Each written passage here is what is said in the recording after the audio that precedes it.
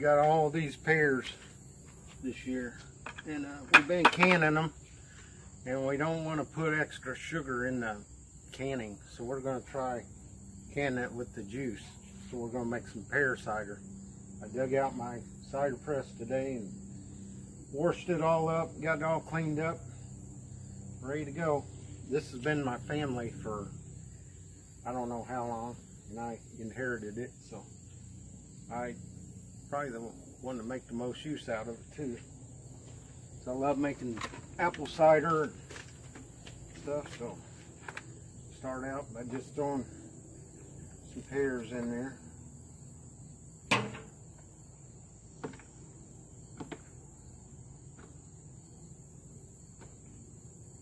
Okay, some of them start to go bad already. I cut that off.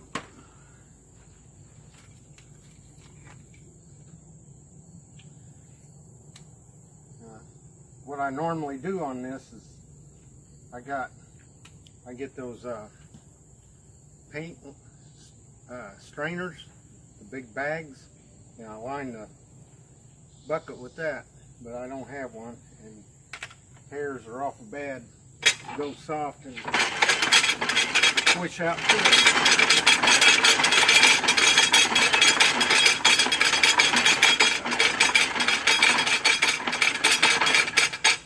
Okay, my lovely wife's helped me film today, so uh, she can come over here and show you how these grind up in here.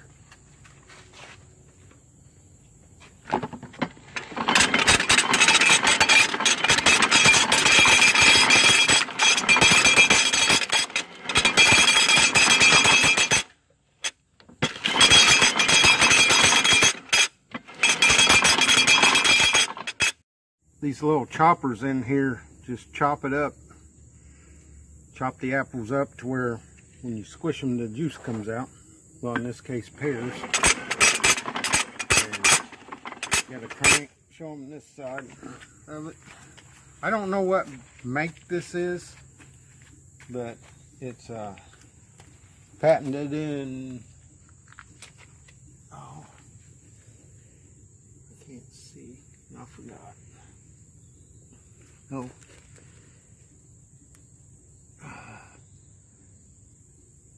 Says standard medium.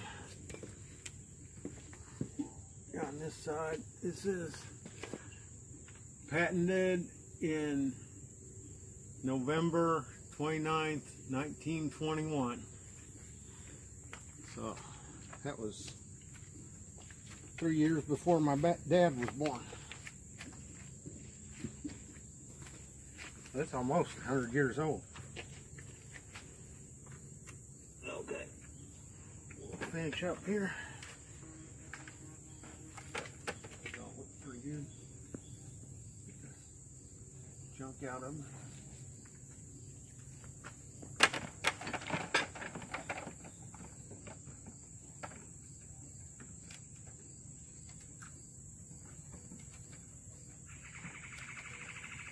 Mm, It's a little juicy.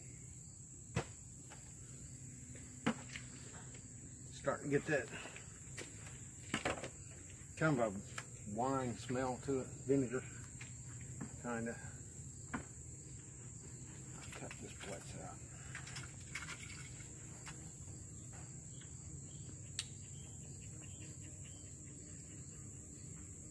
Cannas love this stuff. That's where we dump all of our banana peels and scraps sometimes. You see how tall my cannas get.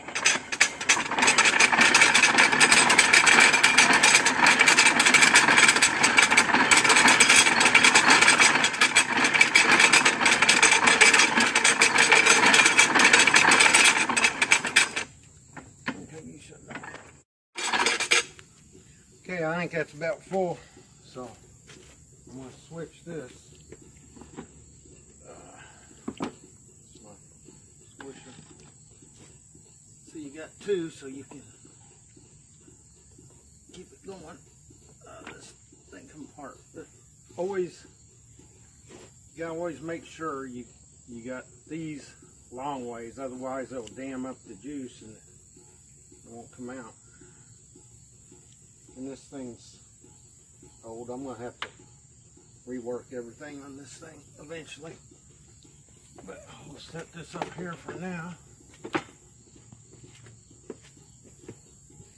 And we'll just grab this and slide it down. If you got two people, it works a lot quicker. Okay, line it up.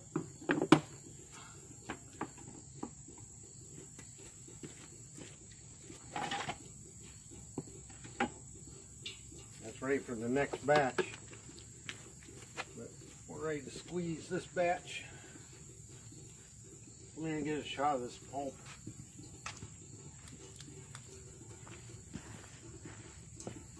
It just pulps it up to where you can squeeze it.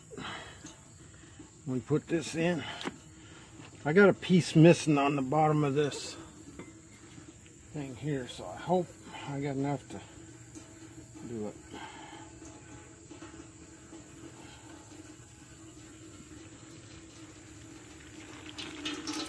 Look at it come.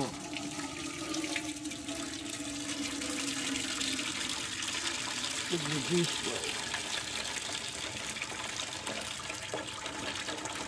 Pear juice isn't quite as good as apple juice. And here's my stick that I used to I don't quite need it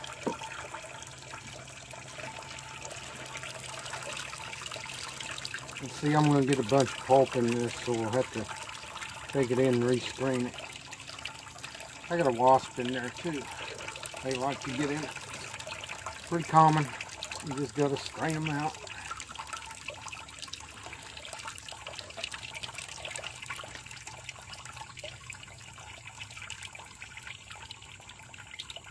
Okay, I'll just let that sit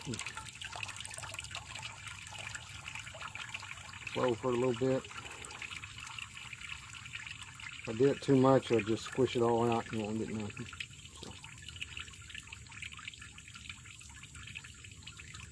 Apples are different. Apples hang together better than pears. So when you do apples, you don't really need the bags as much, although I like to use, you know, the paint bag strainers to strain paint. It's real fine mesh and it holds everything in. You don't get much pulp in there. But and pear juice isn't quite as good as apple juice, but it's good. I like it. But it's, it's milder. It don't have the bite like apple juice has got.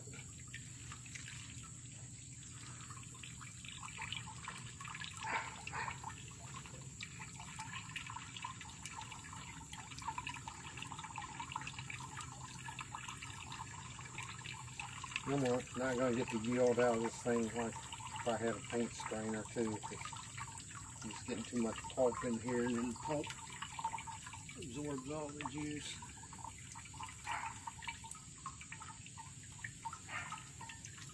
So we can strain it. Most of this we're gonna use for canning, for the canning juice. Instead of adding so much sugar to it, we'll have the canning juice. So, you can show them how much we got so far out of one one bucket. I got, I took this out because I thought maybe it might fill that one up. So, this is just, this is a lot cleaner. This is what I got from just chopping them up and that just naturally come out. But this is what I got from squeezing.